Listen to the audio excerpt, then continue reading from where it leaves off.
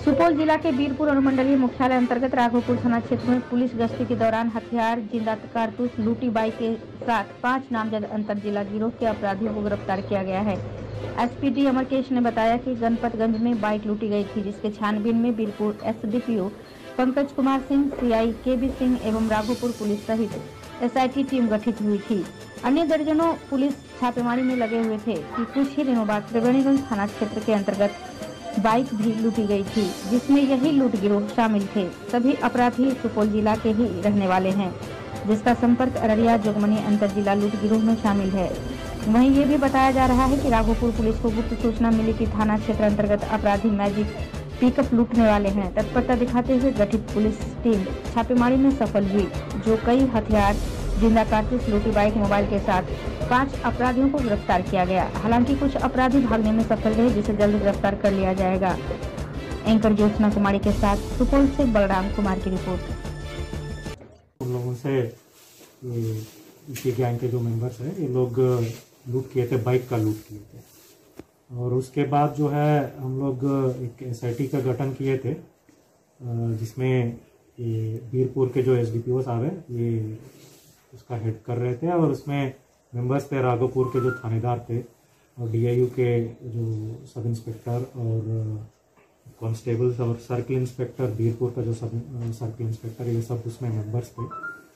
तो ये लोग इन्वेस्टिगेट कर ही रहे थे, लेकिन उसके बाद पाँच दिन के बाद दस तारीख को भी एक लूट का घटना हुआ था त्रिवेणीगंज में। इसमें भी बाइक को लूट किए थे, यही लोग लूट किए थे। उस टाइम में हमारे पास तो इन्फॉर्मेशन नहीं था कि सेम ही गैंग किए थे। लेकिन ये इन्वेस्टिगेशन में बाद में पता चला कि एक सेम गैंग ही, ये एक्टिव है यहाँ पे और सेम गैंग ही ये लूट की मामला, दोनों घटना जो है, ये कारित किए थे। तो उसके बाद त्रिवेणीगंज के जो इंस्पेक्टर है, उनको भी वो एस में हम लोग शामिल कर दिए थे। तो ये लोग इन्वेस्टिगेट कर रहे थे, कुछ टेक्निकल इनपुट्स भी इन लोगों को मिला था और मैनुअल इनपुट्स भी कुछ मिला था इन लोगों को। उसके बाद नाइनटीन को त्रिवेणीगंज में एक और लूट की घटना हुई थी बाइक की। और 20 तारीख को सेम गैंग ने जो है, एक पिकअप ट्रक को भी लूटने के प्रयास किए थे। एक विलेज है, अमही नाम से कोई विलेज है राघोपुर में। वहाँ पे ये लोग पिकअप ट्रक को लूटने की प्रयास कर रहे थे।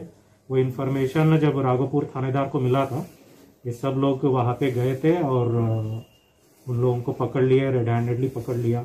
और उन लोगों के पास से ये जो दिख रहा है ये तीन कट्टा और एक पिस्टल और ये सात कारतूस जो दिख रहा है कैट्रिजेस जो दिख रहा है और लूटा हुआ मोबाइल्स कुछ मिला है। लूटा हुआ जो तीन बाइक्स है वो सब भी रिकवर हुआ है और गिरफ्तारी कितनी है? गिरफ्तारी पाँच लोगों को हम लोग गिरफ़्तार किए रेड हैंडेडली कुछ लोग वहाँ से भाग गए हैं।